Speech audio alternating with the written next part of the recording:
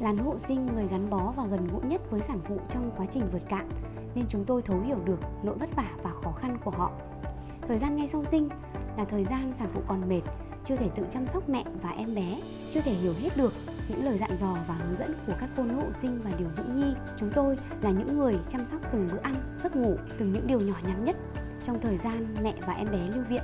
Kể cả khi sản phụ ra viện, cũng có những mẹ gọi điện đến số hotline của bệnh viện để hỏi những câu hỏi. Ví dụ như, cô ơi, mẹ sinh được 10 ngày rồi mà sữa vẫn chưa đủ. Cô ơi, em bé 3 ngày nay rồi con vẫn chưa ị cô ơi, em bé đã ăn no, đã thay bỉm mà con vẫn khóc.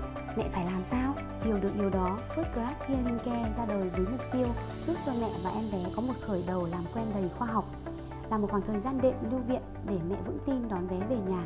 Không những thêm một đêm lưu viện cho các mẹ sau sinh thường, trong thời gian lưu viện, các mẹ sẽ được chăm sóc tốt hơn phục hồi nhanh hơn đồng thời được hướng dẫn chăm sóc bé tư vấn nuôi con bằng sữa mẹ và một số lưu ý thường gặp ở trẻ sơ sinh có lẽ bí quyết chăm sóc mẹ và em bé mới là món quà cần nhất cho các mẹ trong hành trình dài tiếp theo ngoài ra từ 8 tuần sau sinh, mẹ sẽ được sắp xếp một buổi thăm khám và phục hồi chức năng tầng sinh môn. Vì thế, First Class Healing Care đã và đang là một trải nghiệm tuyệt vời.